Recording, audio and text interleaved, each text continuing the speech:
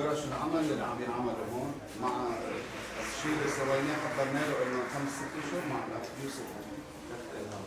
هلا بفرجيكم شيء. معنا أول حاجة بعد المدخل هو اختارينا صورة تؤرخ لحدث قطر هو صورة صاحب الجلالة مع أمهات اللاعبين بعد مونديال وضعناها في الواجهة كذكرى لأنها ربما لن تتكرر بنفس الصيغه لكنها كانت قطر محاضرة. الموجودة في قطر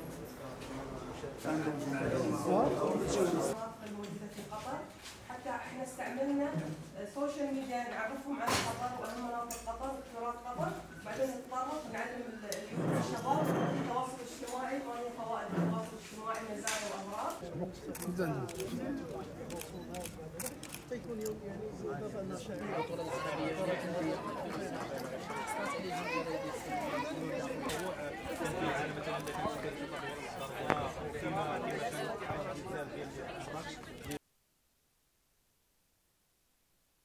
بسم الله الرحمن الرحيم. آه، اليوم عرف آه، مقر جمعية أمل سلانا بسلا آه، يعني نشاط إشعاعي اللي هو عبارة عن يوم شعبي مغربي قطري. تتويج لواحد الفعاليات اللي غادي تدوم لأسبوع ما بين ما بين شباب مغاربة وشباب قطريين.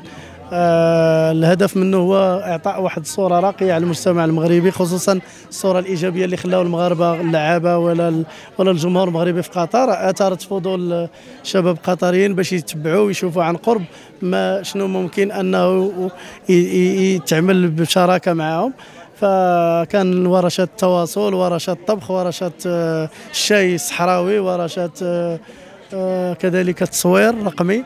وورشات لذوي الاحتياجات الخاصة اللي الهدف منه هو إعطاء واحد آه، نبذة عن آه، هوية الشعب المغربي والشباب شنو قادرين يديروا. كذلك حتى هما ساهموا بتعريف بت- بتراثهم القطري ومطبخهم وزيهم.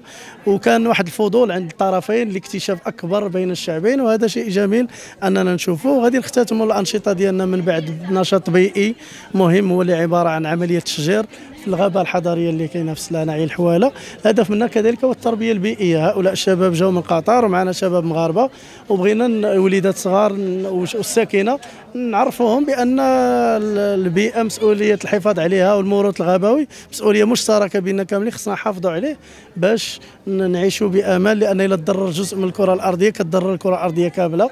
وهذا مسؤوليتنا كاملين. لذلك ما يمكن إلا نكونوا فرحين بمثل هذه اللقاءات ونتمنى أنها تكرر مرات عديدة. بسم الله الرحمن الرحيم. أنا اسمي فاطمة عبد القادر آه، جاية من آه، متطوعة من متاحف قطر في هذا ال- الايفنت في هذا الحدث المشاركة الثقافية بين قطر والمغرب.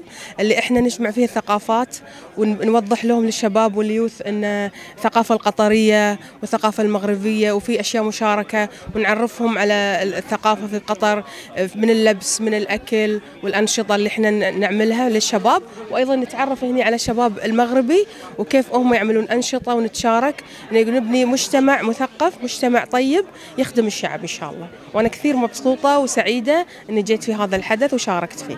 المغربي زي جميل رائع. والألوان والأشكال كثير كثير يعني ممتعة. أنا أشوف ما شاء الله البنات لابسين ألوان حلوة وفي شيء يميزهم مثلا من الصحراء هذه تكون من هذه المنطقة.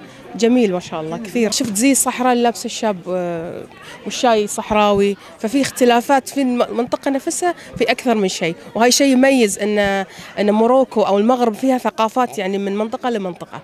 مساء الخير إلهام بن عمي رئيسة جمعية إبداع للتنمية الاجتماعية وإحياء التراث اللامادي آه، الأيام الثقافية المغربية القطرية.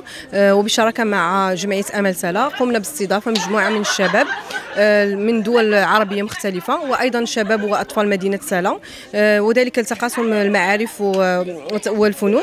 وهذا الشيء من خلال أنشطة فنية آه، اللي تت- تتجلى في ورشات صناعة الخزف وأيضا آه، التطريز. وقمنا أيضا بعرض لوحات ولوحات فنية من صنع آه، المشاركين بجمعية إبداع. عليكم ورحمة الله تعالى وبركاته ومرحبا بكم عندنا في الجمعية السلوية اللي آه، المكفوفين وضعها في البصر.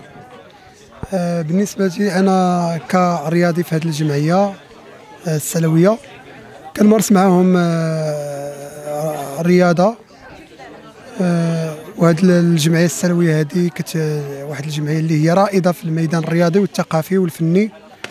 وهي اللي كت كتساند المكفوفين وضعاف البصر من منذ آه، النشوء ديالهم حتى حتى يعني كيوصلوا لواحد كيحققوا واحد الإنجاز معين. والدور ديال هذه الجمعية يعني كتعلم الإنسان الكفيف كيفاش أنه يقرأ وكيفاش يعني كتدمجوا مع المجتمع كيفاش يتواصل مع المجتمع.